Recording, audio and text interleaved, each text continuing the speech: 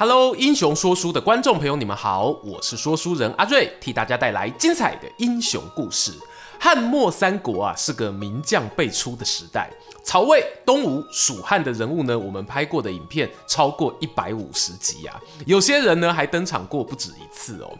然而呢，这当中啊，却有一位观众朋友耳熟能详的英雄，我们还没有拍过专片介绍。我也曾经在直播中说过，如果要论三国志里呢，我个人最欣赏的将领，他在我心中呢，绝对有夺冠的实力啊。没错啊，这条合作喝酒顶 on day。今天来给大家说说，在史书里头雄姿英发、羽扇纶巾、谈笑处强虏灰飞烟灭的江东美周郎周瑜周公瑾。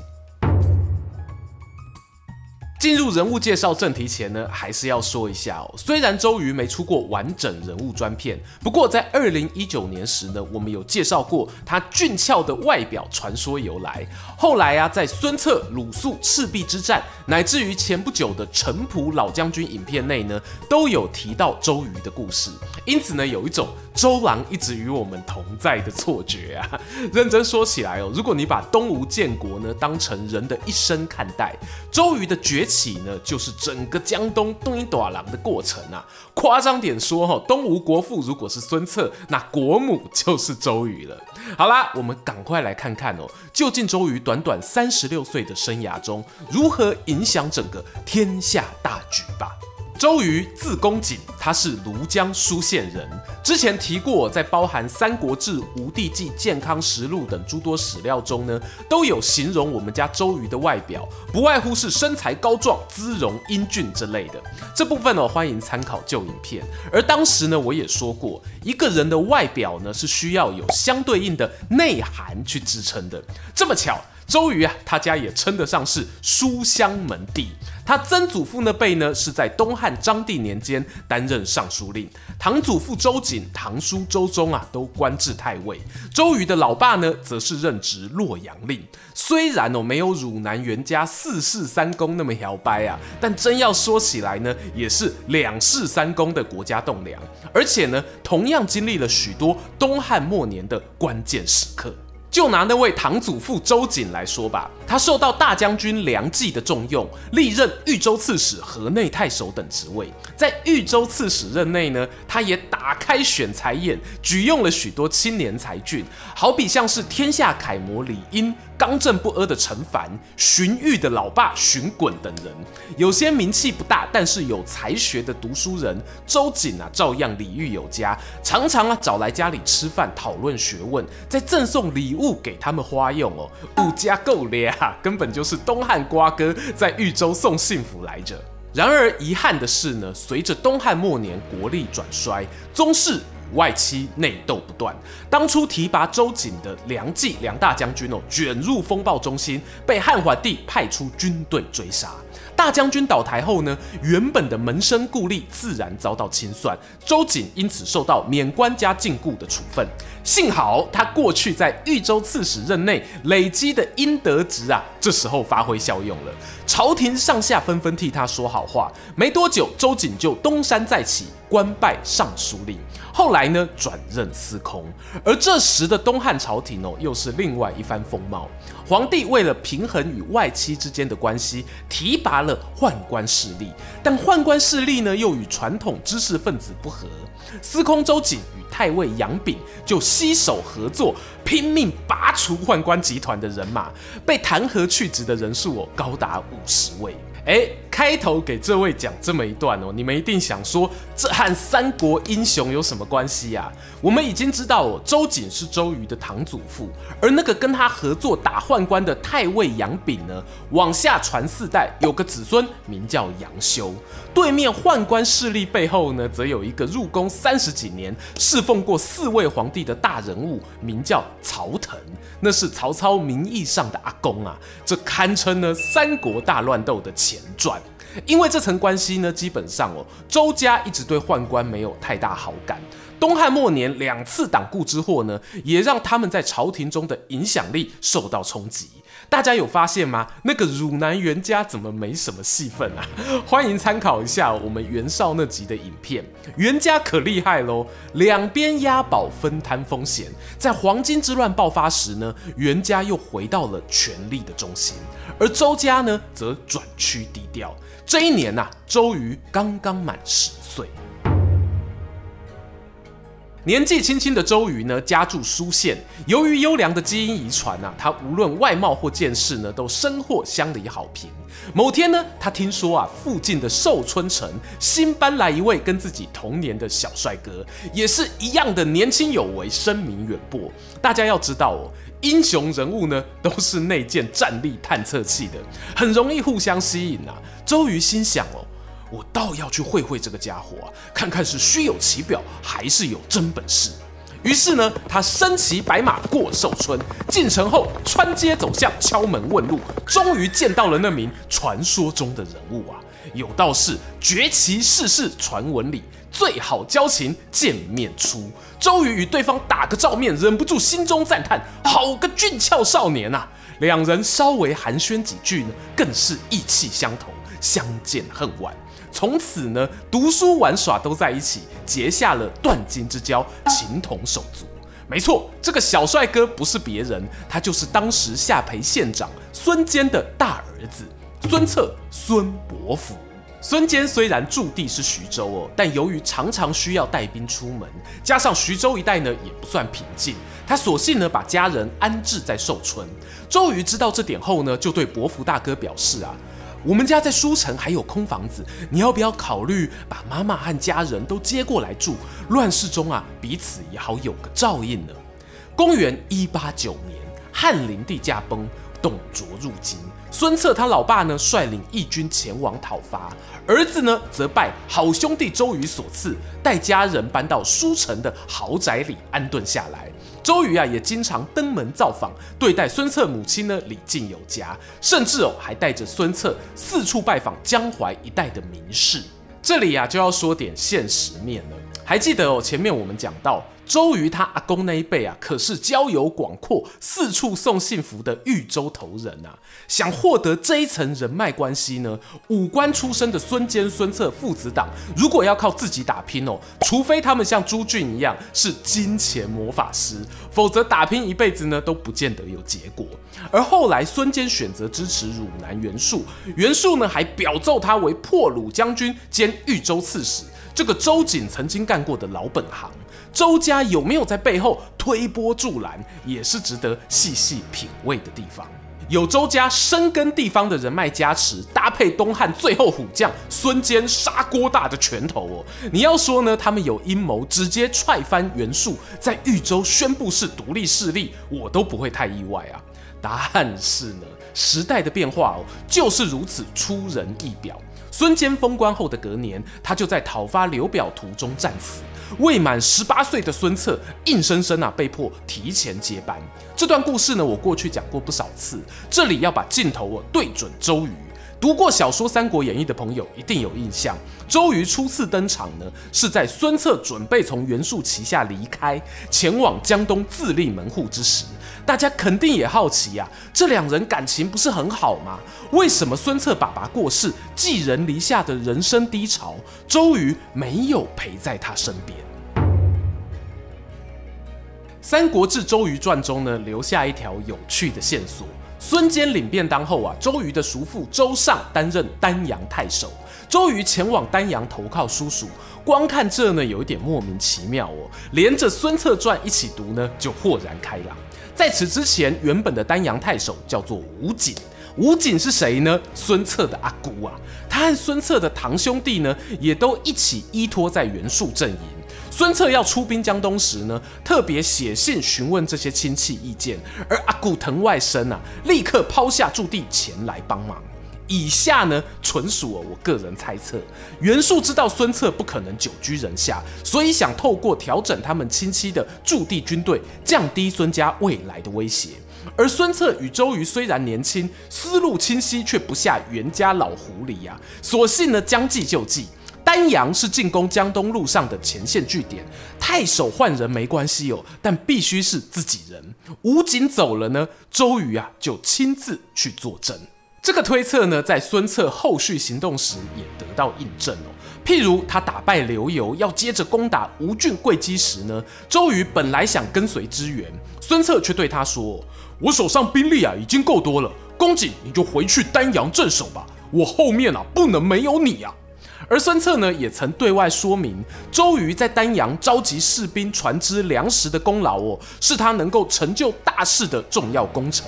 加上从小相识，情同手足啊，无论给他怎样的封赏，恐怕都是不够的。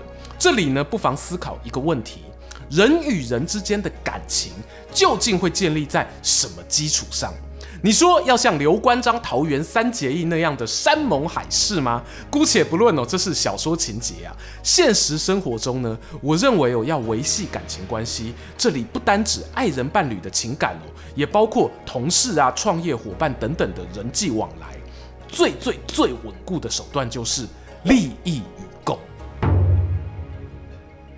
没错，很多人啊，包括我在内哦，最初呢都不太敢跟好朋友谈利益交换。但事实上呢，有来有往就是最好的交流。有一句小句讲了后啊，人情世事不会搞搞，无定够无走啊。你哋哇靠，噶人不会对哦。如果都是单方面的付出呢，往往会让情感的跷跷板失去平衡。回头看看周瑜跟孙策之间存在着什么样的利益关系呢？我猜呀，当初十几岁的周瑜呢，认识孙策不久后，发现这个朋友是可造之才，也回报给家族长辈哦。接下来呢，两个年轻小伙子四处拜访江淮一带的名士，庐江周家的名号呢，就发挥了作用。不然你要说孙策跑去跟别人递名片，自我介绍说：“你好，我孙坚的儿子啊。” 大概没几个会理他吧，但旁边呢，若跟着周瑜帮忙介绍哦，嘿，总控就没讲哦。认真讲哦，照《江表传》记载，是周瑜主动去拜访寿春孙策，《三国志》呢则没有特别琢磨。这有点像情侣交往后哦，彼此开玩笑调情。诶，当初是谁先追谁啊？公说公有理，婆说婆有理啊。我们当然可以说是周家选上了孙坚、孙策和作，看上他们的军事力量，但周家提供的协助也不含糊啊。譬如孙坚为什么在那个乱世中选择汝南袁术做盟友？袁术这个人个性有缺陷，他知道的。但如果孙周两家早有协议呢？汝南寿春这里哦，是周瑜家经营好几代的地盘，你把孙坚想成刘备。袁术想成刘表，周瑜呢就是那个诸葛亮。只要时机一到啊，孙坚揭竿起义，喊一声“袁术暴虐无道，豫州有德者居之”啊，瞬间呢就晋升地方军阀等级了。很可惜啦，孙坚老大呢没有等到这时候，我就先下台一鞠躬。这个阴谋论呢就只能放在我们心底。孙策少年接班啊，他的好兄弟周瑜并没有放弃他。虽然表面上呢还留在袁术阵营，但私下完全就是孙家的班底。除了前面讲到呢，亲自坐镇丹阳，负责军粮士兵的运补之外，还抽空我跑去居巢，招募像是鲁肃这样强大的在野人才。到了建安三年，公元一九八年呢，则正式加入孙策军，挂建威中郎将的军衔，领兵两千人。这衍生出我两个很多人会讨论周瑜是不是言过其实的争议。第一个是周瑜的官职，建威中郎将这个官职很微妙啊，很多人会从这个官位呢去反推周瑜的战功，我认为哦是不大公平。过去我们讲东汉郎官，主要呢是负责统领禁军、保卫皇宫。